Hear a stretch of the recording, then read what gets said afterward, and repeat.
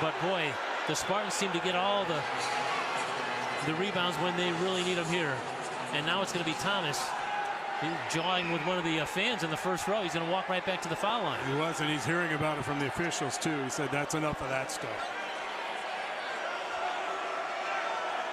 You have to give Thomas a lot of credit.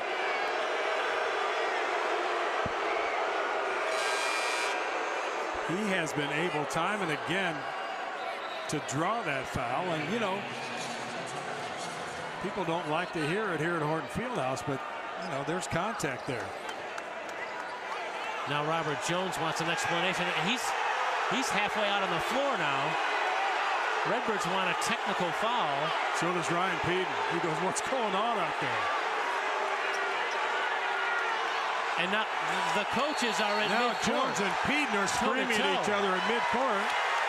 Now the players are coming over. These guys on ISU's bench, well, both players have come off the bench on both sides, and that is not a good thing.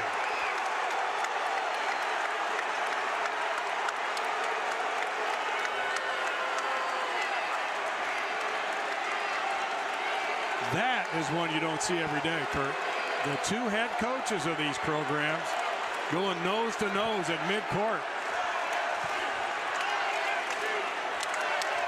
Well, they've talked for years and years about the heated